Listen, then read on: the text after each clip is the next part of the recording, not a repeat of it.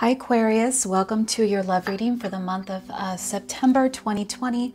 If you are a Aquarius, Sun, Moon, Rising, and Venus, this reading is for you. If you're on the cusp of a what's the last Capricorn or a Pisces, you may want to watch their videos if you're on the cusp of one of those signs to see if they also resonate with you. All right, so keep in mind, again, as always, these are very general, so they're not going to apply to your story, not all of you. Um, so if you would like your own personal reading from me, my links are down below. Um, I had pre-shuffled for you. So uh, this side, I concentrated on you. And this is the person that you might be dealing with. Keep in mind the, the energies can be interchangeable. So this might be you and this might be them, or this is how they think about you and this is how you think about, etc., etc. okay? If you are single, you might be coming from here and going to here, okay? Or this is the person that you end up meeting if you do meet somebody, okay? So let's begin. So the first card I pulled on your side is Opportunity Beckons. so this is a card of boredom. Um, it's a card of disillusions, uh, being discouraged, having doubts, or um, possibly being very lonely and looking for action, right? So um, I don't want to say you're desperate, but some of you are just kind of going with the flow. Maybe you're maybe you are in a relationship or marriage, but you're kind of feeling like as if there's no spark, there's no passion. Everything just feels routine, right? Um, and if you're single, you're just kind of like, when is my love life going to start happening? You know. Um, Let's take a look at the letter and the dog. So the letter has to do with communications, documents, expressions of feelings, or expressing something, messages. Um, if you maybe you're waiting for someone to contact you, um, the dog is a friend. it could be a boyfriend, it could be a third party, um, or it could be someone very loyal. Uh, I feel like when I have these two, this is either a message from a friend, so I feel like you're not with this person for a lot of you um, or you might be, but this is a message of friend or messaging a friend.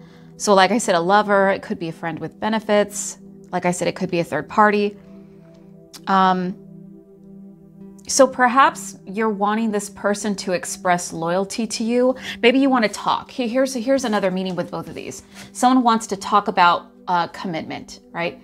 Um, to be fair, the ring is usually like commitment, right, or anchor. Um, but this is also loyalty, devotion. So maybe there needs to be a talk, or you're waiting on that. Um, or you're wanting someone to be, you're trying to find or contact, or you, are waiting for someone to message you and you're wondering if they're loyal, right? Um, and the clover across from the letter, this shows wait, a waiting for an opportunity. Um, now, I don't take this the wrong way, but sometimes I see these two as someone being on call. It's like that the clover is an opportunity. So it's almost like I'm here, I'm ready when you are, I'm ready uh, when are you going to contact. It's not really like waiting, but it's for it's an opportunity, getting the chance to talk to someone. So this could be again a third party or a friend, like someone that you're just getting to know. This I'm going to say this. This reading is way too obvious here. I already want to go skip to the ending, but I'm not going to do that. I'm not going to do that. Literally, I'm telling you this reading could be about five minutes long. I already see what's, uh, everything tells me right here what's going on. Um, and here too, but I'm to, you know. So again, the dog and letter can be that you're tired or is wanting this person to become loyal or sometimes nonverbal expressions of dependence. That's another meaning with these two, or codependency. Okay. It's also a meaning of taking or receiving orders. So it's like, like I said, you're on call of this person, or you're, uh, you're like, whenever you want me, I'm available. I hate to say the word desperate, like I said, but if this side is you,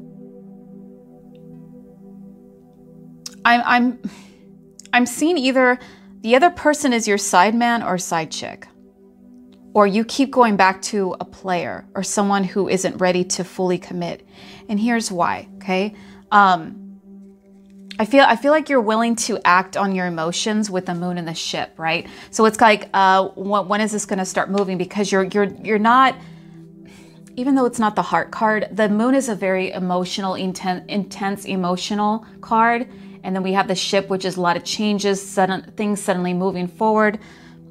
Um, So, uh, like I said, with these two, it's like being ready and willing at any time the chance is presented to you. And that's okay. I, I, except I have this nagging feeling that you're you might be doing it out of desperate measures. Again, this may be the other person, but whoever this side is, this person's like ready at any time. And maybe you don't really. Uh, it's maybe you're not being desperate. You're just like, I'm ready to start this when you are. I'm ready to talk when you are. Are we going to talk about making these changes? I don't know if you live at a distance with someone. This could be a long distance relationship. Let's look at their side because this is what I really want to get to. Okay. they have the card spread your wings. Spread your wings. Okay. Obviously, that means be, wanting to be free. Okay. But what I'm picking up from the rest of this spread is more like spreading their legs. They're ready to, shame on me, but um, in all seriousness, this card again is about being freedom, you know, freedom, expansion, um, you know, feeling confined. That's why they need to spread their wings. Okay. So this person may feel things are uh, maybe too constricting in their relationship if there is one. Again, you might be single and you're suddenly like bored and now you're like, I'm ready to open up to the world. I'm ready to spread my wings and fly and meet people. Okay. But if this is someone uh, that, that you're dealing with, say this is not you going from here to here, um, again, I said constricting to their relationship. They feel this way. And I said there because I'm seeing two women here. I'm t- I have two Lenormand decks and I got two women on their side. Not only that, I got two fish cards. What does the fish represent? The fish is a card of a lot of, besides money and business and valuable, something valuable, it means a lot of something. And the woman card shows up twice. Okay, we have the woman here and we have the woman here. And we also have two fish cards. So, two fish cards, two women, you be the judge. I think you know where this is going. But let me proceed. Okay, so on top of all of this, the fox card is also here showing a possible trickster or manipulative person. And we have the star card, which is wishing, daydreaming, fantasies, manifesting. Uh, for some, you might have manifested too many people. Again, if you're single, you maybe manifested too many people at once. It could be maybe just two people, maybe it's not more than two people. Um, but I'm seeing a lot of people because the fish twice, that is a lot of something, and you have this side has two women. It could be a man, okay? The significator card is it's, it's more literal with the Lenormand. So if I get a woman card, I'm usually it usually means a woman. But again, take how it resonates because some of you this could be a man, okay? But the stars and fish. So let's look at these two right here. This is someone caught up in a lot of fantasies, or that this person is caught up too much with focusing maybe on their finances but I don't think it's only about finances. I mean, someone could be dealing with someone who they work with. Maybe this is this person is someone that you've worked with before in the past, or you work with them now, or this is someone you meet at your work if you haven't met them. Um, but I'm mainly seeing uh, or sensing too many cooks in the kitchen. Okay. And if you are dealing with another woman, then it's possible that this woman um, Maybe this woman has a lot of people around her. And for a few of you, this person, although I don't see secrets, there could be, I don't think this is going to resonate with too many of you, but maybe this person is not being honest about their sexuality.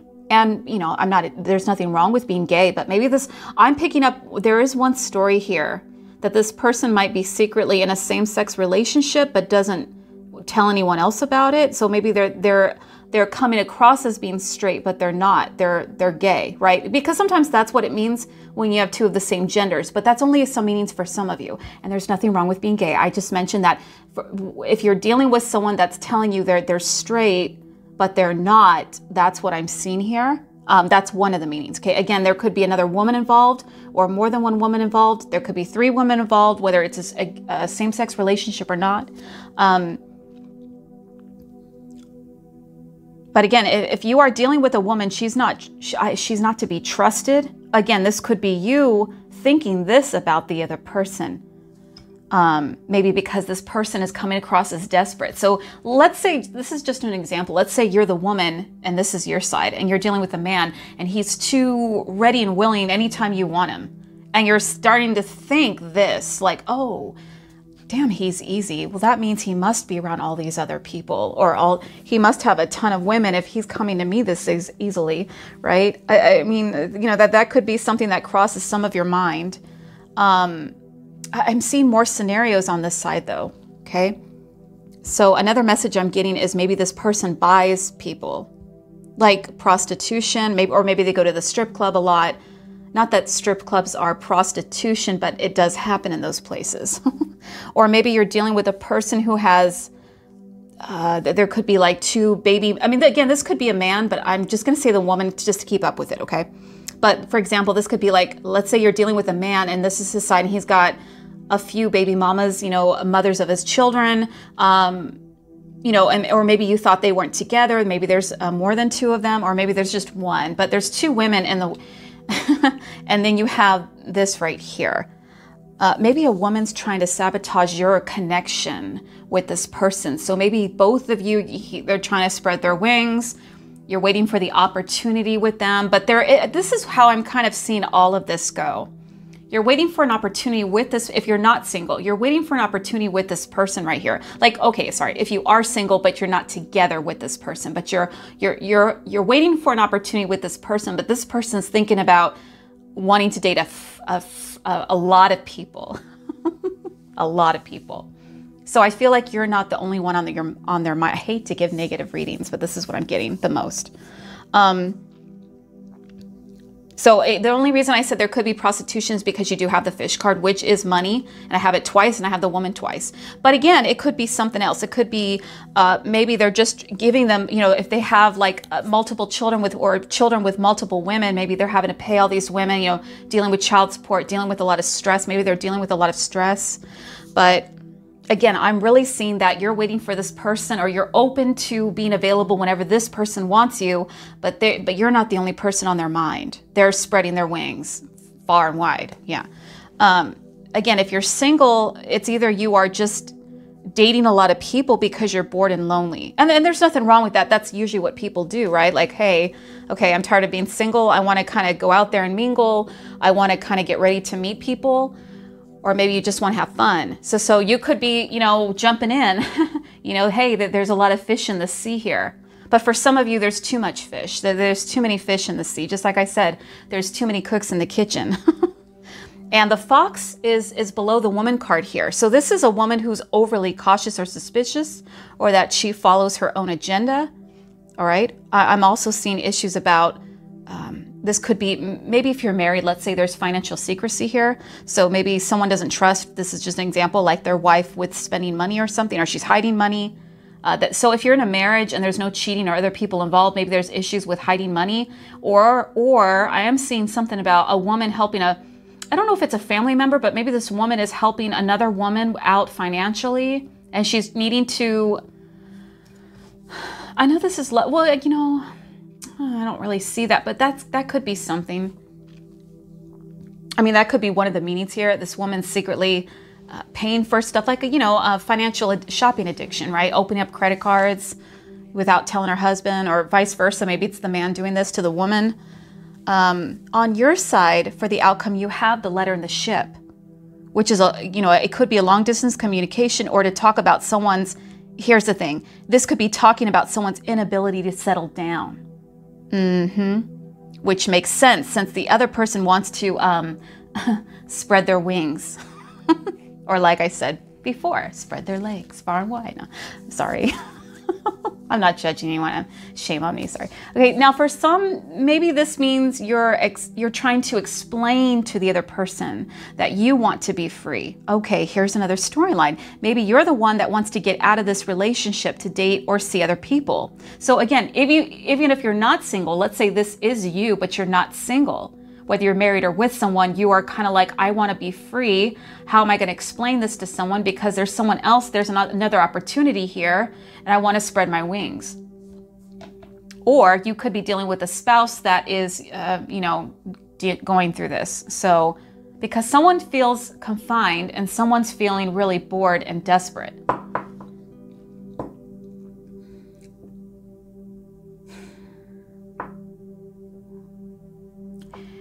So it's like once you communicated this to them, or if that happens, then they all of a sudden think, here's another thing. It's like maybe you start, when I was talking about you want to be free, this could be you saying, I want my freedom. You want to talk about this. Or maybe some of you are trying to tell this person that you want to be in a relationship with them. You're wondering when when will this change? But whatever happens, it's like then all of a sudden you think or maybe accuse or maybe they accuse you of being a cheater or believe that you've had multiple partners just because you feel or express something to them about feeling very stuck in this relationship or that you are unfulfilled emotionally right? Um, maybe what i'm getting on this side is there's a lot of he said she said or women gossiping about well, whatever's happening in that now that's sparking this suspicion with the fox being here. I mean, it, there could be many different other storylines I didn't bring up that's going on, but for the most part, I hate to stick on to the negative one, but that's really what I'm getting from this is that someone's desperate, waiting on the other person, and the other person is just out. You're not the only one on their mind. Okay, on their outcome, they get the stork and fox. So which is kind of like a conflict between trust and suspicion. They're not sure what to think, or this is not sure what to do. And if we look at under the deck here, we have the scythe card. Okay, the scythe is pain. Uh, it could be physical or emotional pain. Uh, the scythe is something suddenly or getting cutting off someone, cutting something is cut off or su sudden. Okay, we have the garden and we have the key. Stars again we have the crossroads. So someone's trying to make a decision. Hmm. The garden is other people, social media. The key is being very open or trying to find a solution to a problem. And this is making a decision, wishing to, hoping to, having faith, having trust. So someone's. So there may be an issue that plays out where uh, someone shuts everybody out until they decide what they're going to do. And for some of you, someone gets outed like copped out because the scythe and garden um, can represent making a breakup public, like one of you announces your breakup or divorce on social media, or like, hey, this guy's a cheater. It may not be, uh, you know, it, it, that's not the only meaning, by the way. It may not really, this is not always posting everything on social media. This could just be outing someone. Something comes out and there's confrontation here. Okay, even if it's not made public, that's just, it's just the garden is known to be about the media or public, right? And the key and crossroads together shows hesitation about a choice. So there's like hesitation about a choice here. Somebody wants to make a choice, but they're the key's good. Again, it's about solving problems or discovering something. Maybe that's what it is. Someone discovers something through other people or something on social media, and then they're like, screw this, I'm gonna pretty much cut you out of my life. Now, not all of you are gonna break up though. Okay, so the scythe doesn't always mean cutting someone out of your life. It just means maybe someone is caught, you know. So I feel that this is to be continued because either someone doesn't yet know who or what they want. That's kind of what I'm getting here. So until there's a decision to be made, I feel like again, I hate to say this, but someone's ready and available. Again, for some of you, you're single and you're jumping into the dating game, but you maybe you get caught up in dating a few many people, and then let, let, let this is an example. Let's say you're a guy and you're single, you're bored, you're like, I'm going to start dating. So you jump in, you start dating multiple women. This is just an example, and um, and then the other women find out, and you're labeled as a cheater, even though you weren't really cheating. You were just dating multiple people. You were just casually dating. You haven't committed to anyone. So to be fair, some of you might get accused. Um, you know, like a false accusation. So it wasn't your fault. You were just, hey, I'm dating. I haven't chosen who I yet want, or maybe you don't want to settle down, but but someone maybe falls in love with you and then they take it personally, right? So that's basically what I have here. I'm going to leave it here as that. I hope that helped resonate. Very sorry if it didn't. Um, but again, if you would like your own personal reading, my links are down below. I will see you guys on my next video.